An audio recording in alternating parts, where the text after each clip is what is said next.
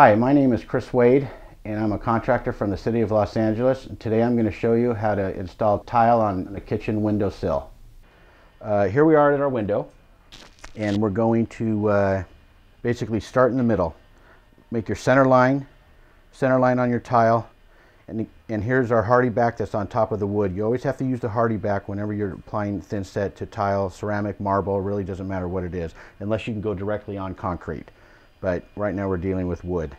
So we're going to center our piece and we're going to put our thin set on.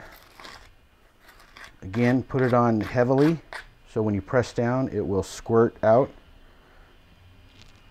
just like so. And then butter it up.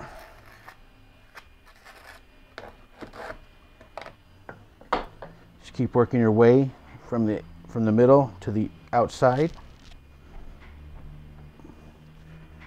And then on this particular one, this is where the cut comes into play. Basically what you're going to do is you're going to put it, set it where you want to set it. You're going to make a pencil line right here. And that's going to give us our distance and leave a little overhanging so you can continue on. As far as the depth goes, you bring it up, you bring the face it up, the face of it up to where you want it. And you're going to make a pencil line. And what you're going to do is you're just going to make a straight line. And then you're going to bring this one across here. If you have to use a straight edge, use a straight edge. But this is the part that you're going to want to remove. We're going to take this to the tile saw and we're going to remove it, cut it, and then this piece is going to be missing. And that way when you slip this one in, the part that's removed will butt up against here and along the side here now. So that's going to sit over there. I'm going to put this over here. Then we're going to take our four inch pieces, just get some on the back here. And those are basically just going to go in the back and just finish off the stool.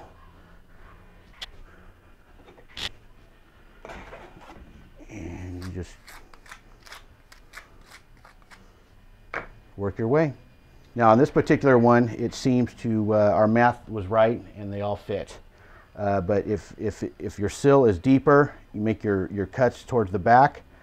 Um, you know, whatever distance you need to make them to make it all fit.